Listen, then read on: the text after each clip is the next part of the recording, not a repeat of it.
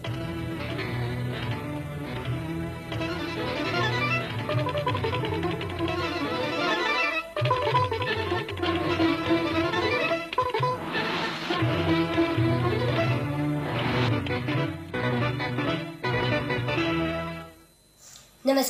ಸಾವಿರದ ಒಂಬೈನೂರ ಎಪ್ಪತ್ತ್ಮೂರು ನವೆಂಬರ್ ಒಂದರ ಮುಖ್ಯಾಂಶಗಳು. ಸಾವಿರದ ಒಂಬೈನೂರ ಐವತ್ತಾರರಂದು ಅಸ್ತಿತ್ವಕ್ಕೆ ಬಂದ ವಿಶಾಲ ಮೈಸೂರು ರಾಜ್ಯಕ್ಕೆ ಕರ್ನಾಟಕ ಎಂದು ಮರುನಾಮಕರಣ ಹಂಪಿಯಲ್ಲಿ ದೀಪ ಬೆಳಗಿಸಿ ಹೊಸ ರಾಜ್ಯವನ್ನು ಉದ್ಘಾಟಿಸಿದ ಶ್ರೀ ಜಯಚಾಮನ್ ರಾಜ ಒಡೆಯರ್ ಮುಖ್ಯಮಂತ್ರಿ ದೇವರಾಜ್ ಅರಸರಿಂದ ಶುಭ ಹಾರೈಕೆ.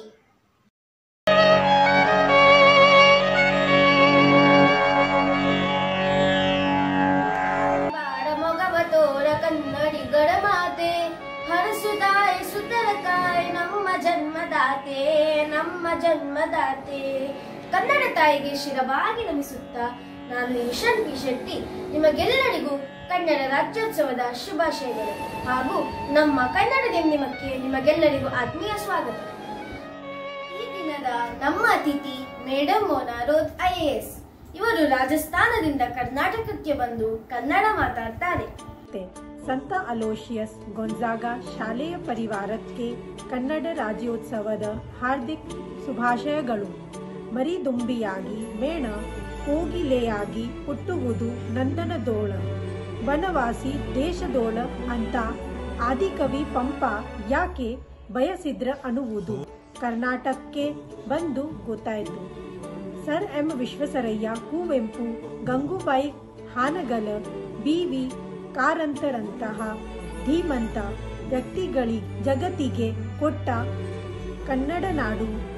ಸತ್ವಯುಕ್ತವಾದದು ಆತ್ಮೀಯ ವಿದ್ಯಾರ್ಥಿಗಳಿಗೆ ನೀವು ಕನ್ನಡ ಮನೆಗೆ ಕೊಡುಗೆ ನೀಡುವಂತಾಗಲಿ. ಶುಭ ಹಾರೈಕೆಗಳು. ಸಿರಿಗನ್ನಡಂ ಗೇಲಗೆ, ಸಿರಿಗನ್ನಡಂ ಬಾಳಿಗೆ. ನಿಮ್ಮ ಸಂದೇಶಕ್ಕೆ ಆಭಾರಿಗಳಾಗಿದ್ದೇವೆ ಕನ್ನಡ ದಿಂಡಿಮಕ್ಕೆ ನಿಮಗೆಲ್ಲರಿಗೂ ಆತ್ಮೀಯ ಸ್ವಾಗತ. ಬಾರಿಸು ಕನ್ನಡ ದಿಂಡಿಮವ ಓ ಕರ್ನಾಟಕ ಹೃದಯ ಶಿವ. ನಮ್ಮ ಕನ್ನಡ ತುತ್ತೂರಿ ಲಂಡನಿನ ಬೇಕಿಲ್ಲ ನಮ್ಮ ಮನೆಯ ಸೊಡನಿಗೆ ಮನೆ ಬೆಳಗುವುದೇ ಮೊದಲ ಹೌದು ಕುವೆಂಪು ಅವರು ಹೇಳಿದಂತೆ ನಾವು ಸಂತ ಅಲೋಷಿಯಸ್ ಗೊಂಜಾಗದ ವಿದ್ಯಾರ್ಥಿಗಳು ನಮ್ಮ ಸಂಭ್ರಮವನ್ನು ಹೇಳಿಕೊಳ್ಳಲಿದ್ದೇವೆ. ಕತೆಗಳಾಗಿ, ಚಿತ್ರಗಳಾಗಿ, ಹಾಡಾಗಿ ನಾವು ಕನ್ನಡ ದಿಂಡಿಮವನ್ನು ಬಾರಿಸಲಿದ್ದೇವೆ. ಶುರುವಾಗ್ಲಿ ಕನ್ನಡದ ಹಾಡಿಗೆ ಹೆಜ್ಜೆಗಳ ತಕದಿಮಿತ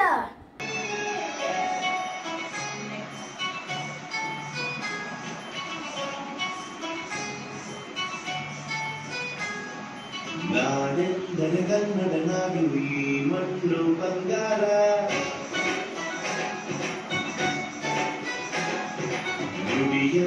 ಕನ್ನಡ ಭಾಷೆ ಪದವೆಲ್ಲ ಸಿಂಗಾರ.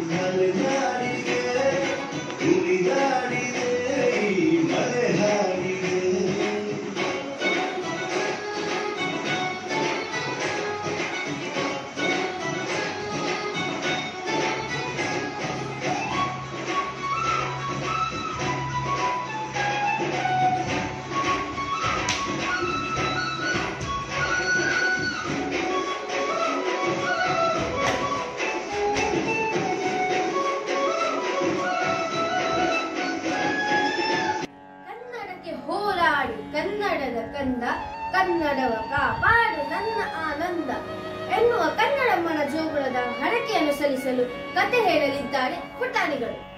ಸತ್ಯವಾಕ್ಯಕ್ಕೆ ತಪ್ಪಿ ನಡೆದರೆ ಮೆಚ್ಚನ ಪರಮಾತ್ಮನು ಎಂಬ ನೀತಿ ವಾಕ್ಯವನ್ನು ಈ ಕತೆ ಪ್ರತಿಪಾದಿಸುತ್ತದೆ. ಪ್ರತ್ಯಕ್ಷವಾದರೂ ಪ್ರಮಾಣಿಸಿ ನೋಡು. ಈ ಪ್ರಯತ್ನವನ್ನು ಬಿಡಬಾರದು ಒಂದಿನ ಸ್ವೀಟಿಗೆ ಒಂದು ಬ್ರೆಡ್ ಸಿಕ್ಕಿತು ಟೊಪ್ಪಿ ಬೇಕಾ ಟೊಪ್ಪಿ ಟೊಪ್ಪಿ ಬೇಕಾ ಟೊಪ್ಪಿ ತಾನು ಹಾಕಿಕೊಂಡಿದ್ದ ಟೋಪಿಯನ್ನು ಕೆಳಗೆ ಹಾಕಿದ ಎಲ್ಲ ಕೋತಿಗಳು ಟೋಪಿಗಳನ್ನು ಕೆಳಗೆ ಬಿಸಾಡಿದವು.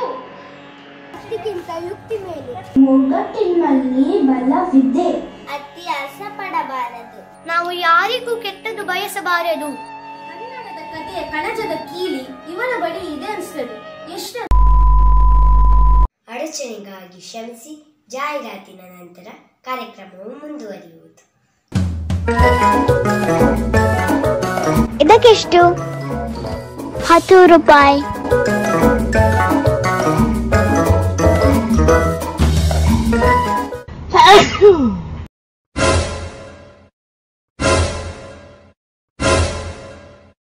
ಮಾಸ್ಕ್ ರಹಿತರಿಂದ ನಿಮಗೆ ಅಪಾಯವೇ? ಇದೀಗ ಹೊಸದಾಗಿ ಬಂದಿದೆ ಕೊರೋನಾ ಕವಚ. ಒಂದೆಲ್ಲ ಮೂರರಿಂದ ರಕ್ಷಣೆ. ಮಳೆ, ಬಿಸಿಲು ಮತ್ತು ಕೊರೋನಾ.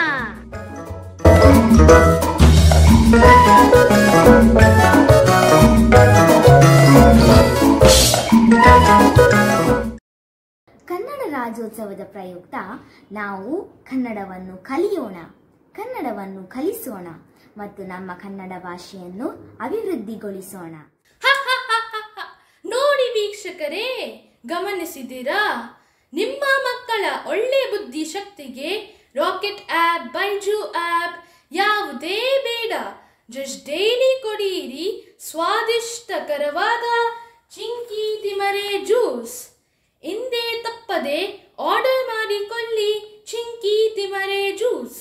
ಈಗ ಹೇಳು ಮಗ. ಬಾಳ್ಕೆ ಆದ್ರೆ ಏನ್ ಕುಡಿತೀಯಾ? ಎಳ್ನೀರು. ಕಾರ್ಯಕ್ರಮಕ್ಕೆ ಮತ್ತೊಮ್ಮೆ ಸ್ವಾಗತ. ಕವಿಗಳು ದಿಸಿದ ಮಂಗಳಧಾಮ ಕವಿ ಕೋಗಿಲೆಗಳ ಪುಣ್ಯರಾಮ. ಖಂಡಿತವಾಗಿಯೂ ನಮ್ಮ ಸಂಭ್ರಮವನ್ನು ಹೆಚ್ಚಿಸಲಿಕ್ಕೆ ಕವಿಗಳು ನಮ್ಮ ಜೊತೆ ಆಗ್ತಿದ್ದಾರೆ. ಅವರೊಂದಿಗೆ ನಮ್ಮ ಸಾಹಿತ್ಯ ಭಾಷೆ ಬದುಕಿನ ಕುರಿತು ಗೆಳೆಯ ಈತನ್ ಮಾತಾಡ್ತಾನೆ. ಮನೋಜ ಕುಲಂ ತಾನೊಂದೆವಲಂ ಆ ಶಿವನೇ ನನ್ನ ಗಂಡ ಎಂದು ನಾನು ನಂಬಿದ್ದೇನೆ. ಈಗ ನಾನು ಈ ದಿವ್ಯಾಂಬರಗಳೆಲ್ಲ ತ್ಯಜಿಸುತ್ತೇನೆ. ನಾನು ದಿಗಂಬರಾಗುತ್ತೇನೆ ದಿಗಂಬರಾಗುತ್ತೇನೆ. ಬೆಟ್ಟದ ಮೇಲೆ ಒಂದು ಮನೆ ಮಾಡಿ ಮೃಗಂಗಳಿಗೆ ಅಂಜಿದೊರಂತಯ್ಯ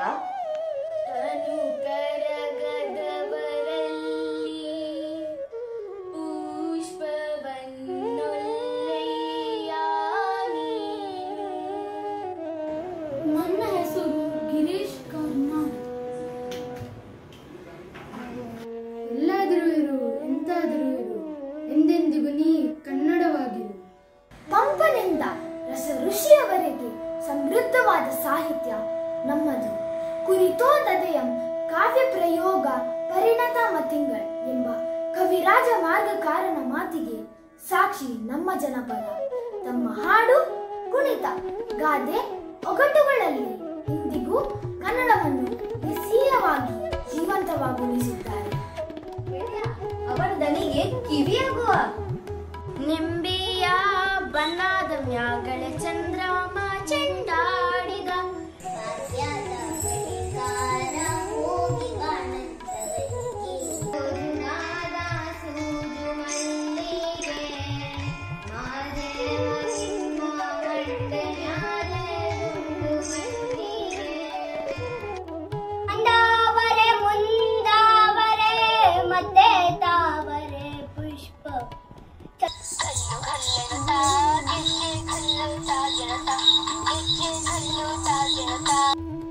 ಭಾಷೆ ಎಂದರೆ ಕೇವಲ ಅಕ್ಷರಗಳಲ್ಲ, ಸಂವಹನ ಮಾಧ್ಯಮವಲ್ಲ. ಅದು ಬದುಕು, ಅದು ಸಂಸ್ಕೃತಿ, ಅದು ಪೀಳಿಗೆಗಳಿಂದ ಸಾಗಿ ಬಂದ ಜ್ಞಾನದ ನಿಧಿ. ಭಾಷೆ ಇಲ್ಲವಾದರೆ ಅನನ್ಯವಾದ ಸಂಸ್ಕೃತಿಯನ್ನು ಕಣ್ಮರೆಯಾಗುತ್ತದೆ. ಈ ನಿಟ್ಟಿನಲ್ಲಿ ಇವುಗಳನ್ನೆಲ್ಲ ಕಾಪಾಡಿಕೊಂಡು ಬಂದ ಜನಪದರ ಶ್ರಮ ದೊಡ್ಡದು. Generally, real maintenance capacity.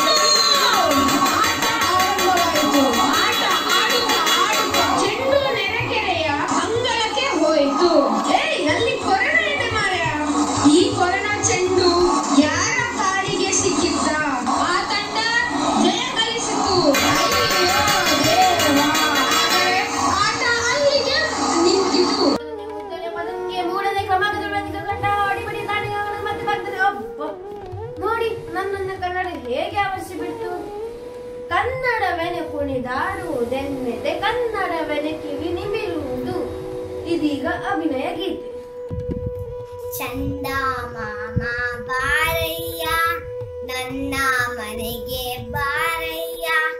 ಕಿತ್ತು ಅಮ್ಮ ನೋಡಿ ಬಿಟ್ಟಳು ಉದ್ದ ಕೋಲು ತಂದಳು. ಕಟ್ಟಿ ಕುಡಿದ ಬೆಕ್ಕಿಗೆ ಪಟಾರ್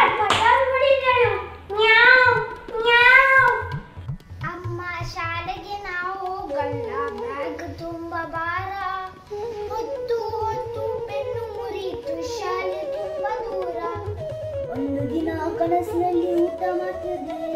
ಊಟ ಅಂತ ಹೇಳಿ ನಾನು ಸೇಬು ತಿಂತಿದ್ದೆ.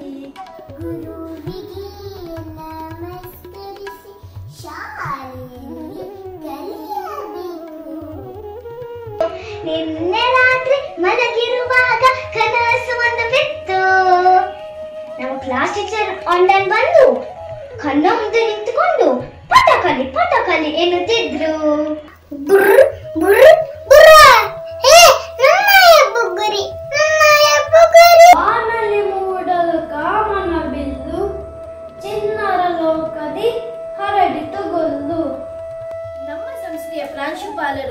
ವಂದನೀಯ ಗುರುಗಳಾದ Melvin Anil Lobo S J ಇವರಿಂದ ಈ ದಿನದ ವಿಶೇಷ. ಆತ್ಮೀಯ ಶಿಕ್ಷಕರೇ, ಪಾಲಕರೇ ಮತ್ತು ನನ್ನ ನೆಚ್ಚಿನ ವಿದ್ಯಾರ್ಥಿಗಳೇ, ಮೊತ್ತ ಮೊದಲಿಗೆ ನಿಮಗೆಲ್ಲರಿಗೂ ಕನ್ನಡ ರಾಜ್ಯೋತ್ಸವದ ಶುಭಾಶಯಗಳು. ಕರ್ನಾಟಕ ನಮ್ಮೆಲ್ಲರ ನೆಚ್ಚಿನ ನಾಡು, ನಾವೆಲ್ಲರೂ ಮೆಚ್ಚುವ ನಾಡು. ರಾಷ್ಟ್ರಕವಿ ಕುವೆಂಪುರವರು ನಮ್ಮ ಕರ್ನಾಟಕವನ್ನು ಭೂದೇವಿಯ ಮಕ್ಕುಟದ ನವಮಣಿಯೇ ಗಂಧದ ಚಂದದ ಹೊನ್ನಿನ ಗಣಿಯೆ ಎಂದು ವರ್ಣಿಸಿದ್ದಾರೆ. ಇಂತಹ ಒಂದು ಸುಂದರ ನಾಡು ಸಾವಿರದ ಒಂಬೈನೂರ ಐವತ್ತಾರು ನವೆಂಬರ್ ಒಂದರಂದು ನಿರ್ಮಾಣಗೊಂಡಿತು. ಅಂದಿನಿಂದ ಇಂದಿನವರೆಗೂ ನಾವು ಈ ಕರ್ನಾಟಕದಲ್ಲಿ ಒಂದಾಗಿ ಬಾಳುತ್ತಾ ಬಂದಿರುತ್ತೇವೆ. ಕರ್ನಾಟಕವೆಂಬುದು ಒಂದು ಪುಟ್ಟ ಭಾರತವಿದ್ದಂತೆ. ಇಲ್ಲಿರುವ ವೈವಿಧ್ಯತೆ ನಿಜವಾಗಿ ಮೆಚ್ಚುವಂಥದ್ದು. ಕನ್ನಡ ಭಾಷೆ ವಿವಿಧ ಧರ್ಮಕ್ಕೆ ಸೇರಿದಂತಹ ಜನರು ವಿವಿಧ ಸಂಸ್ಕೃತಿ ಪ್ರಕಾರಗಳು, ನೈಸರ್ಗಿಕ ಲಕ್ಷಣಗಳು, ಭಾರತದ ವೈವಿಧ್ಯತೆಗೆ ಹಿಡಿದಂಥ ಒಂದು ಕನ್ನಡಿ ಅಂತ ಹೇಳಬಹುದು ಕವಿ ಕುವೆಂಪುರವರು ಮತ್ತೊಂದೆಡೆ ಸರ್ವ ಜನಾಂಗದ ಶಾಂತಿಯ ತೋಟ, ರಸಿಕರ ಕಂಗಳ ಸೆಳೆಯುವ ನೋಟ ಎಂದು ವರ್ಣಿಸಿದ್ದಾರೆ. ಅರವತ್ತೈದನೇ ಕರ್ನಾಟಕ ರಾಜ್ಯೋತ್ಸವವನ್ನು ಆಚರಿಸುತ್ತಿರುವಂಥ ಈ ಸಂದರ್ಭದಲ್ಲಿ ಕರ್ನಾಟಕದ ವೈವಿಧ್ಯತೆಯನ್ನು ಮೆಚ್ಚೋಣ. ಇದನ್ನು ಇನ್ನಷ್ಟು ಪುರಸ್ಕರಿಸೋಣ. ಮಾತ್ರವಲ್ಲ, ಕನ್ನಡ ಭಾಷೆಯನ್ನು ಕಲಿಯ, ಕಲಿಯೋಣ ಹಾಗೂ ಕಲಿತು ಕನ್ನಡ ನಾಡಿಗಾಗಿ ಶ್ರಮಿಸೋಣ. ಕನ್ನಡ ರಾಜ್ಯೋತ್ಸವದ ಪ್ರಯುಕ್ತ ವಿವಿಧ ಸ್ಪರ್ಧೆಗಳನ್ನು ಹಾಗೂ ಕಾರ್ಯಕ್ರಮಗಳನ್ನು ಹಮ್ಮಿಕೊಟ್ಟ ಕೊಂಡಂಥ ಎಲ್ಲ ಕನ್ನಡದ ಶಿಕ್ಷಕರಿಗೆ ನಾನು ಅಭಿನಂದನೆಯನ್ನು ಸಲ್ಲಿಸ್ತಾ ಇದ್ದೇನೆ. ವಿಶೇಷವಾಗಿ ಕನ್ನಡದ ಶಿಕ್ಷಕರುಗಳಾದ ಶ್ರೀಮತಿ ರೂಪ ಡಿಸೋದ ಶ್ರೀಮತಿ ಅಂಜನಾ ಕಾಮತ್, ಶ್ರೀಮತಿ ಪ್ರಿಯ ಸೆರಾವು ಹಾಗೂ ಸಂಯೋಜಕರಾದಂಥ ಶ್ರೀಮತಿ ಅಕ್ಷತಾ ಕುಡ್ಲ ಇವರೆಲ್ಲರನ್ನ ನಾನು ಅಭಿನಂದಿಸ್ತಾ ಇದ್ದೀನಿ. ಹಾಗೂ ಮತ್ತೊಮ್ಮೆ ತಮಗೆಲ್ಲರಿಗೂ ಕನ್ನಡ ರಾಜ್ಯೋತ್ಸವದ ಶುಭಾಶಯಗಳು. ಧನ್ಯವಾದಗಳು, ಫಾದರ್.